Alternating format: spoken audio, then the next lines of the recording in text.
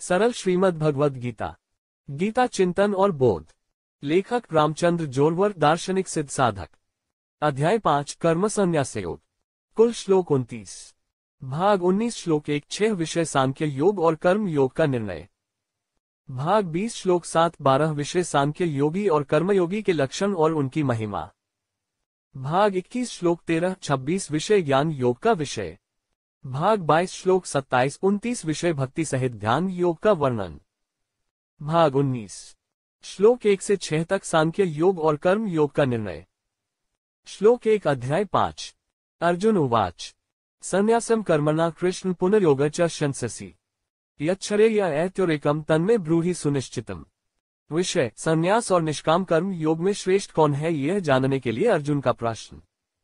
अनुवाद, अर्जुन ने कहा, हे कृष्ण। आप कर्म संन्यास और कर्म योग की प्रशंसा करते हैं।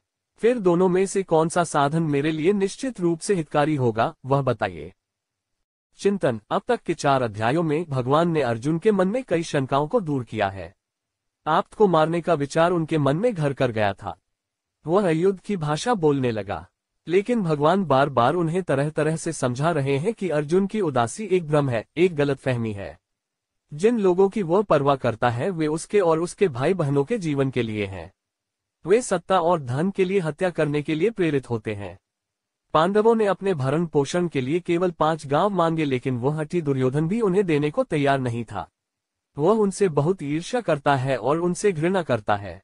बार बार उसने पांडवों से घृणा की, उन्हें धोखा दिया, उन्हें मारने की साजिश रची। उनके सम्मान के साथ खेला, लेकिन फिर भी पांडवों ने धैर्य रखा। अभी स्थिति पूरी तरह नियंत्रण में नहीं है। सभी घटनाओं का परिणाम युद्ध में हुआ है।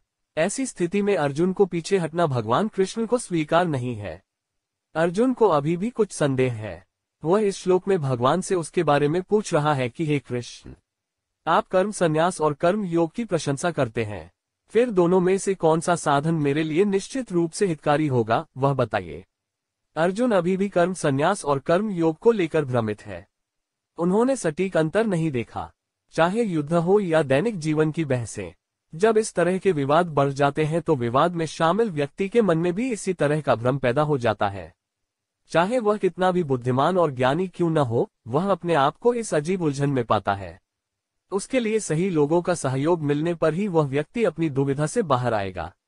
अन्यथा, वह या तो बिना सोचे समझे दूसरों को मारने के लिए तैयार हो जाता है या खुद आत्महत्या कर लेता है। इसलिए परिस्थिति को देखते हुए सही व्यक्ति की संगति करनी चाहिए जो हमें ऐसी कठिन परिस्थिति से बाहर निकाल सके। कृष्ण अर्जुन के लिए महत्वपूर्ण है। अब वह उसे बचाने जा रहे हैं, उसे इस भ्रम से बाहर निकाल रहे हैं। बोध, मानव जीवन एक युद्ध क्षेत्र है। हम चाहें या न चाहें, लेकिन हमारे आसपास इतने मुखियाविहीन लोग लगातार रहते हैं कि वे न चाहते हुए भी हमारे जीवन में संघर्ष, लड़ाई झगड़े की ऐसी स्थिति पैदा कर देते हैं। इसके अलावा अगर वे लोग पति, पत्नी, बच्चे, भाई माता पिता ऐसे बहुत करीब हैं तो उनसे लड़ना उतना आसान नहीं है जितना लगता है। दुनिया से लड़ना बहुत आसान है। उन्हें जज करने और रिश्ता तोड़ने में एक पल की भी देर नहीं लगती। इससे हमारा दिल नहीं दुखता। लेकिन जब अपनों से लड़ने का समय आता है, जो करीबी माने जाते हैं, संवेदनशील व्यक्ति तब निराश हो जाता है। वह भ्रमित हो जाता है। ऐसे मूर्खों की लापरवाही सही रास्ता नहीं बताती। पाप और दंड के बीच का अंतर ज्ञात नहीं है। ऐसे में वही यह नहीं देखता कि हम जो भी कर्म कर रहे हैं, संघर्ष कर रहे हैं, वह पाप है या पुण्य। वह असमंजस में है कि क्या सही है और क्या गलत। ऐसे में ज़रूरत है एक ऐसे जीवन साथी की जो आपका सही मार्गदर्शन कर सके। ऐसा कोई मिल जाए तो इससे निकलने का रास्ता मिलने की उम्मीद है। नहीं तो कोई भयानक हादसा होने की संभावना है। इसलिए धैर्यपूर्वक ऐसे निस्वार्थ, सही मार्गदर्शन करने वाले व्यक्ति की तलाश करनी चाहिए और उस व्यक्ति के मार्गदर्शन में ऐसी बुरी स्थिति से बाहर निकलने का रास्ता खोजना चाहिए। श्लोक दो, अध्याय पाँच। श्री भगवान उवाच। संन्यास कर्मयोग शचनी श्रेय सिखराबुभो। तयोस्तु कर्म संन्यासात कर्मयोगो विशिष्यते। विषय, संन्यास पर निष्काम कर्म योग की श्रेष्ठता का वर्णन। अनुवाद, श्री भगवान ने कहा, कर्म संन्यास और कर्म योग दोनों परमदाता हैं। लेकिन कर्म योग इन दोनों से श्रेष्ठ है क्योंकि संन्यास की तुलना में इसे प्राप्त करना आसान है। चिंतन, प्रत्येक व्यक्ति की मनोवृत्ति के अनुसार कर्म में रहते हुए यह निश्चय होता है कि शुद्ध कर्म करना है। कर्म संन्यास ग्रहण करना है या कर्म योग का अभ्यास करना है। शुद्ध कर्म करना बहुत हल्का माना जाता है। लेकिन कर्म संन्यास और कर्म योग दोनों ही मनुष्य का परम कल्याण अर्थात ईश्वर प्राप्ति है। इसकी तपस्या एक सामान्य, पारिवारिक, सांसारिक व्यक्ति के लिए अभ्यास करना कठिन है। क्योंकि समाज, परिवार, इस संसार में रहते हुए अनेक कर्म किए बिना काम नहीं चलता। समाज को धारण करके, परिवार को धारण करके निर्लिप्त भाव से सभी कर्म करने पड़ते हैं, इसे कर्मयोग कहते हैं। एक बार जब इस कर्म योग में रहने की आदत हो जाती है तो व्यक्ति सभी के सहयोग से, निष्क्रिय भाव से सभी के लिए अपने सभी कर्म करने लगता है। प्रपंच करके वह कर्म योग में रहकर ईश्वर को प्राप्त कर सकता है। लेकिन कर्म संन्यास व्यक्ति को सामाजिक, सांप्रदायिक और सांसारिक बंधनों में नहीं फंसा सकता। जिसने कर्म संन्यास ग्रहण कर लिया है, वह इन तीनों तत्वों से दूर रहता है। वह अपना पूरा जीवन परमात्मा के ध्यान और साधना में व्यतीत करता है। वह खुद को किसी अन्य दायित्व से नहीं जोड़ता है।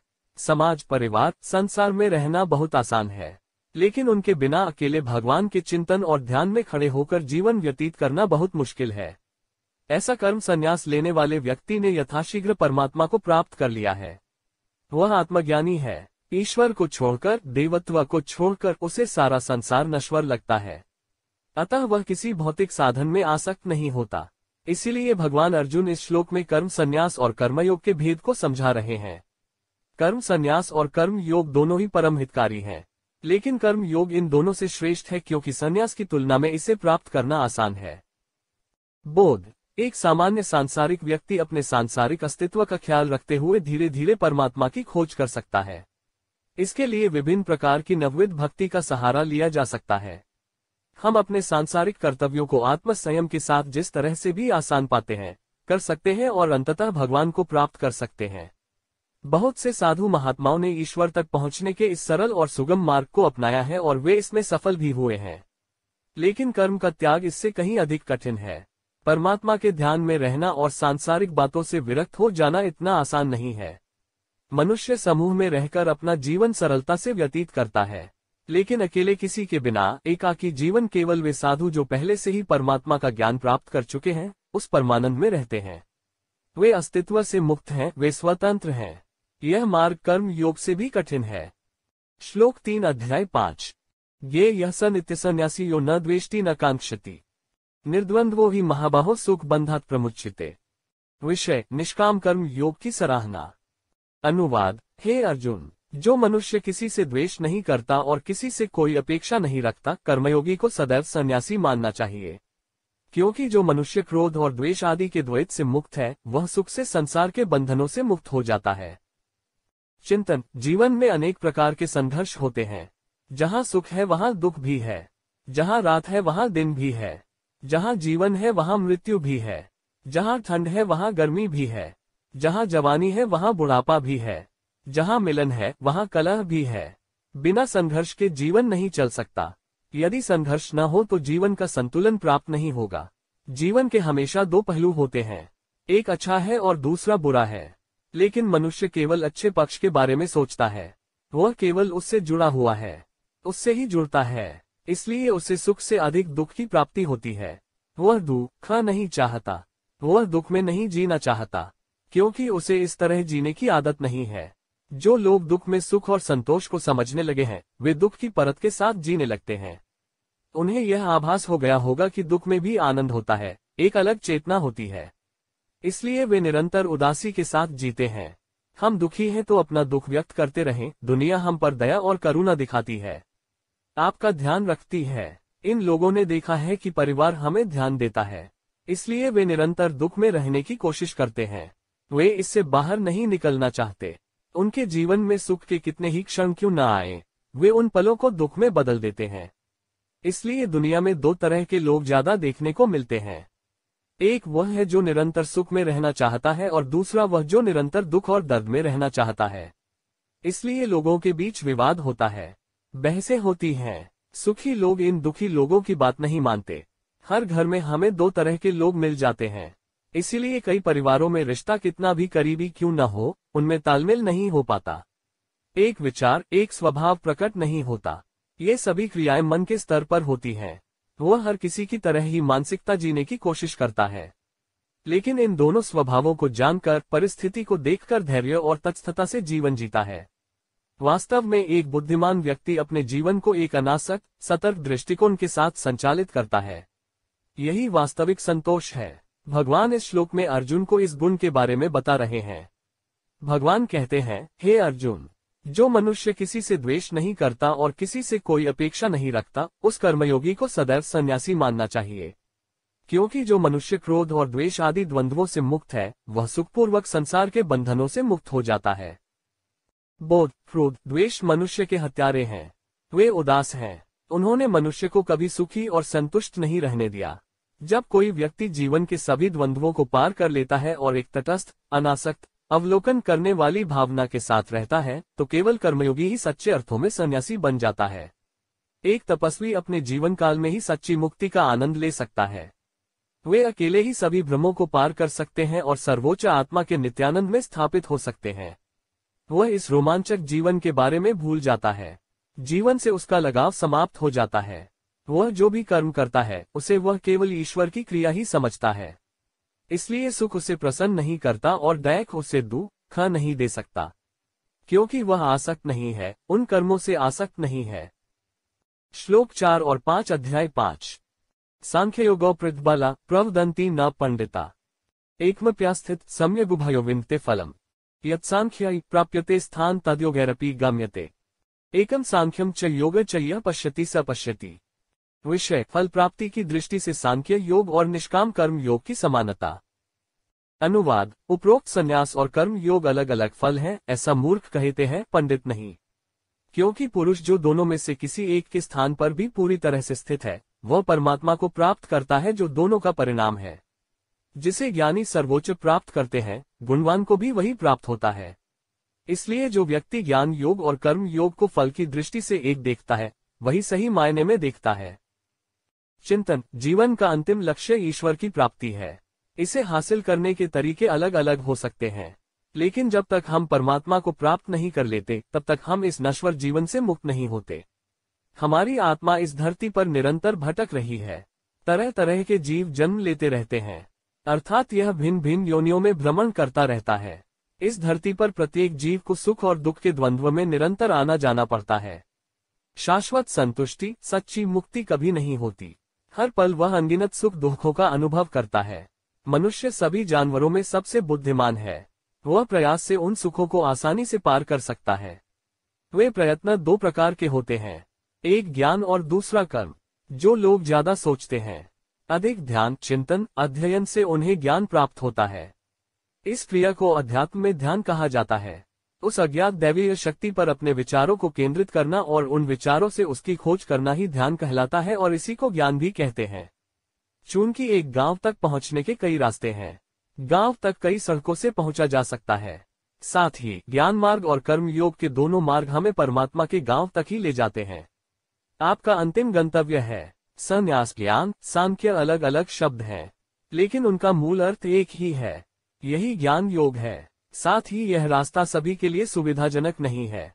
जिनके विचार ध्यान, चिंतन, अध्ययन में एकाग्र नहीं है, वे शारीरिक कर्म करके और निष्काम कर्म को अपनाकर ईश्वर के इस परम धाम तक पहुँच सकते हैं। कर्म योग मनुष्य के लिए वहाँ तक पहुँचने का एक और तरीका है। साधारण लोगों को फ़र्क पड़ता है। लेकिन जो वास्तविक ज्ञानी हैं, जिन्हें हम पंडित कहते हैं वे इनमें भेद नहीं करते। वे संसार के मूल सिद्धांत को, इस ब्रह्मांड को जानते हैं। सभी ब्रह्मांडों में एक ही परमपिता परमात्मा कार्यरत है। वही इन सब बातों को घटित करता है। यह इन विशेषज्ञ, जानकार पंडितों को पता है। इसलिए वे इसमें अंतर नहीं करते। भगवान ने यहाँ मूर्ख शब्द का प्रयोग केवल उनके लिए किया है जिन्हें इसकी जानकारी नहीं है। ये वे लोग हैं जो मूल सिद्धांत को त्याग कर, बिना कुछ जाने उस पर बहस करके अपनी बुद्धिमत्ता का प्रदर्शन करते हैं। सती बातें सुनने, देखने, पढ़ने से वे विद्वान बन जाते हैं। भगवान ने उनके लिए मूर्ख शब्द का प्रयोग किया है। ये वो लोग हैं जो समाज में भ्रम पैदा करते हैं। वे लोगों को गुमराह करते हैं। ज्ञान हो या कर्म, योग की परम उपलब्धि परमात्मा की प्राप्ति है। जिस प्रकार दही जमने के बाद नवनीत हाथ में आ जाती है, उसी प्रकार ज्ञान और कर्म की निष्फल साधना पूर्ण होने पर उन पुण्यात्माओं को अंत में मुक्ति, मोक्ष प्राप्त होती है। अर्थात वे मूल दिव्य सार में विलीन हो जाते हैं। नदी समुद्र से मिलती है। वह भी समुद्र हो जाती है। बोध, इस संसार में अनेक प्रकार के लोग हैं। कोई अपनी बुद्धि के बल से जीवन व्यतीत करता है, कोई अपने शरीर के श्रम से अर्थात कर्म करके जीवन व्यतीत करता है। कुछ न तो करते हैं। वे दूसरों के जीवन पर अपना जीवन चलाते हैं। इसमें बुद्धिजीवी अधिक उन्नत हैं, उनके नीचे आलसी दूसरे स्थान पर हैं। एक बुद्धिमान व्यक्ति ईश्वर के अस्तित्व को जान लेता है और उसे स्वीकार कर लेता है और तुरंत उसकी ओर बढ़ना शुरू कर देता है। निष्काम कर्मयोग के बाद ईश्वर की प्राप्ति होती है। वह जो कुछ भी करता है वह परमात्मा को समझने लगता है और उस निष्काम कर्म योग के माध्यम से परमात्मा को प्राप्त करता है। यद्यपि दोनों मार्ग भिन्न हैं, तथापि दोनों का अंतिम लक्ष्य केवल परमात्मा को प्राप्त करना ही है। मुक्ति या मोक्ष दोनों का लक्ष्य है। श्लोक छह अध्याय पाँच। संन्यासस्तु महाबाहोदु खमाप्तु मयुगत योगयुक्तो मुनिर्ब्रह्म चिरनाधि गच्छति विषय निष्काम कर्म योग की तुलना में सांख्य योग साधना की कठिनाई अनुवाद किंतु हे अर्जुन कर्म योग के बिना मन इंद्रियों और शरीर के सभी कार्यों में कर्म का त्याग करना कठिन है और जो कर्मयोगी भगवत स्वरूप का चिंतन करता है वह अतिशीघ्र परब्रह्म परमात्मा को प्राप्त करता है चिंतन मन इंद्रिया और शरीर मनुष्य को सुखों में बांधे रखते हैं अपने विषयों में फंसा रखते हैं। उन्हीं के कारण मनुष्य जग में अटका हुआ है। संसार का मोह शीघ्र नहीं छूटता। बाल्यावस्था के बाद मनुष्य प्रौढ़ावस्था में प्रवेश करता है। तब वह विकारों से घिर जाता है। उसका शारीरिक सुख के लिए संघर्ष शुरू हो जाता है। फिर उसकी शादी हो जाती है। एक संगत साथी चुनता है। घर बसाओ। घर में तरह तरह की चीज़ें इकट्ठा करता है। उन चीज़ों से प्यार हो जाना। पार्टनर के मोह में फंस जाते हैं। फिर संतान प्राप्ति की इच्छा होती है। जब बच्चे पैदा होते हैं तो उनकी शिक्षा, आजीविका आदि चीज़ें पीछे चली आती हैं। फिर वे पोते वगैरह चाहते हैं। लेकिन मन इन सब सांसारिक बातों से नहीं निकलता। गृहस्थाश्रम के बाद वानप्रस्थाश्रम है।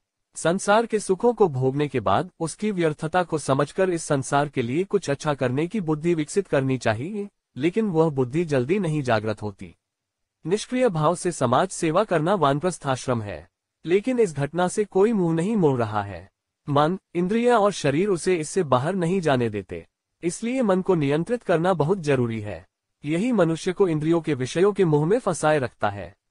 इस नश्वर जीवन के सुख और दुखों से तब तक कोई छुटकारा नहीं है जब तक कि शरीर के कामुक सुखों को मन से दूर नहीं कर दिया जाता। इसीलिए सोच समझ समझकर वानप्रस्थाश्रम में प्रवेश करना चाहिए। भ्रम को छोड़ो। जो होगा वह कभी टाला नहीं जाएगा। लेकिन अगर इस जन्म में हमने अपना जीवन ठीक नहीं बनाया तो हमें इस धरती पर बार बार चीटी का जीवन जीना पड़ेगा। यदि हम इससे मुक्ति चाहते हैं, मोक्ष चाहते हैं तो मनुष्य को समय रहते सावधान हो जाना चाहिए। सांसारिक कर्मों को त्याग कर कर्मयोगी के रूप में जीवन व्यतीत करना चाहिए। इस शरीर का उपयोग लोगों के कल्याण के लिए किया जाना चाहिए। अब परिवार के लिए संघर्ष करना बंद करें। लोक सेवा को ईश्वर की सेवा समझना चाहिए। उसका आनंद लें। परेशान की मदद करें। उनका कल्याण करो। यदि ऐसा न हो सके तो कम से कम कल्याण का मार्ग तो दिखाओ। यह समाज को संतुलित करता है। लोग उनका नाम लेते हैं। वे आपका सम्मान करते हैं। अगले जन्म में इसी तरह के कर्म करने से कर्म योग की प्राप्ति होती है। परमात्मा के दर्शन होने लगते हैं। मुक्ति का मार्ग मिलने लगता है। मोक्ष का मार्ग शुरू होता है। अगला, जब शरीर थक जाता है, तब संन्यास होता है। फिर सभी आश्रमों को वर्जित मानकर एक संन्यास में तटस्थ रहना सीखें। किसी को बोझ होकर या परेशानी बनकर जीना नहीं। उस एक हरिनाम में अपना शेष जीवन सुखपूर्वक व्यतीत करना चाहिए और अंतिम समय में उसी में विलीन हो जाना चाहिए। यही जीवन का मार्ग है जो मनुष्य के लिए सही है। सुखद है। बोध। पहले हम अस्तित्व को प्राप्त करें, सभी सुखों को भोगें, फिर हम परमात्मा की सेवा करेंगे। लेकिन मनुष्य का जीवन इतना छोटा है कि कब छलनी में पानी की तरह हाथ से फिसल जाता है, पता ही नहीं चलता। बात करने से बचपन खत्म हो जाता है, फिर वह इस संसार में फंस जाता है। यौवन वही समाप्त हो जाता है। वृद्धावस्था की ओर बढ़ते हुए भी सांसारिक सुखों का मुँह मन से नहीं छूटता। समय नहीं बचता, फिर ईश्वर की सेवा और समाज सेवा कब होगी? जीवन जी कर भी जीवन उसी मोह में फंस जाता है, लेकिन भगवान का स्मरण नहीं होता। बचने का कोई रास्ता नहीं है। जीवन बीत जाने पर भी जीवन इधर उधर अतृप्त वासनाओं में फंसा रहता है और बार बार कीड़ा चीटी के जीवन से यात्रा चलती रहती है। मनुष्य के रूप में जन्म लेने के बाद भी वह फिर से निचली योनि में इंद्रियों, शरीर के सुखों को प्राप्त करता है। फिर मुक्ति कब तक मिलेगी? यह परमपिता तय करेंगे। अब तक हमने पंचम अध्याय के श्लोक एक से छह तक सांख्य योग और कर्म योग के निर्णय विषय को समझाया है। श्रीकृष्णार्पण मस्तु।